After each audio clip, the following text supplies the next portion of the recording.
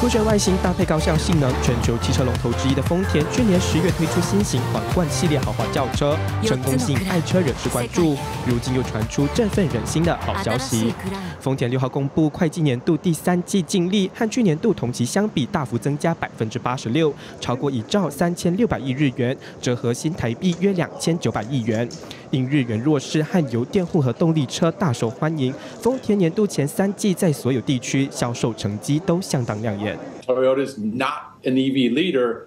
but the auto industry in the auto stream, Toyota is still the king of the hill, still number one.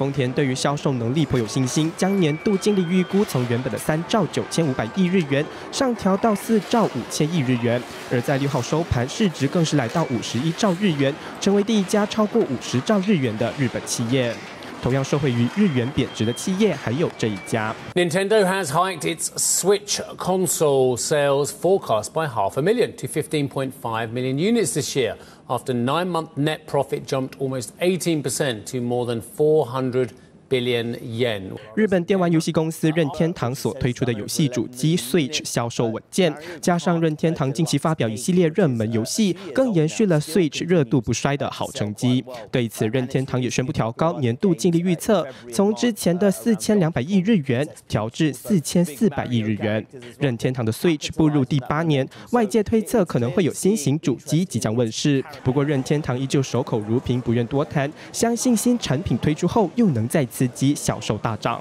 经新闻王家正、王新梅报道。立刻下载静新闻 App，一手掌握新闻时事，尽善尽美，尽好新闻。